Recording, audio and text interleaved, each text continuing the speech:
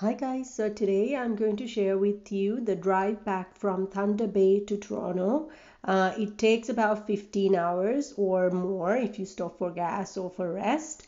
Uh, but if you're driving back, it's a beautiful ride back and uh, going there as well you see the mountains as well as the water lake superior as you see here and if you're new to my channel and haven't been here already don't forget to hit that subscribe button and the bell icon and connect with me through my instagram facebook and twitter as well. So you can see i usually draw uh, on my videos but if you don't um, travel and see places and enjoy you don't have inspiration to draw. So that's why I'm sharing with you all the places that I travel to and the experiences that I have.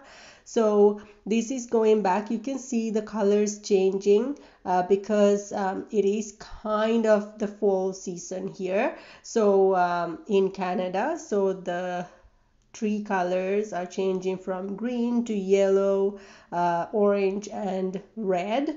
Um, some of the trees actually stay green as well, but uh, majority of them turns yellow and fall off.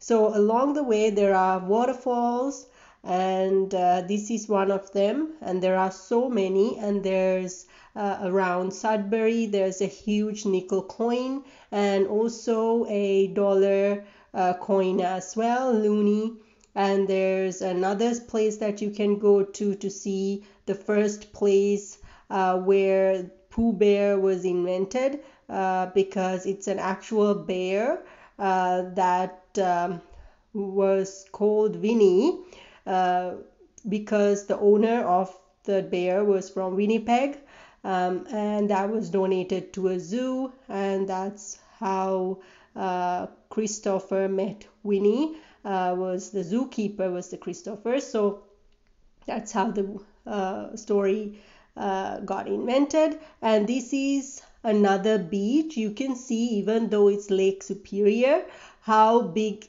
does this look? It actually looks like the ocean and you see the mountains on the side. And what you don't see actually on this video is how the water goes and hits that mountain bottom. It's a very very beautiful sight. So i recommend you do this drive. And even if you had to stop in between um, get a hotel uh, that's fine too but it's a beautiful beautiful drive so hope you enjoy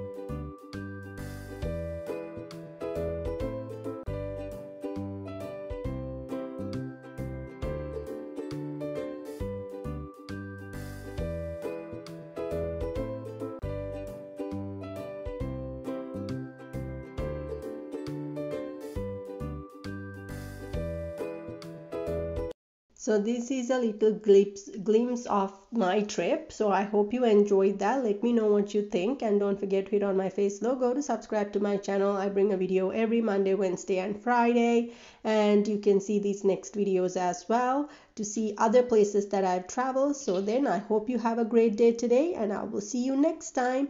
And in the meantime, don't forget to comment below and let me know what you want to see next. So then, bye.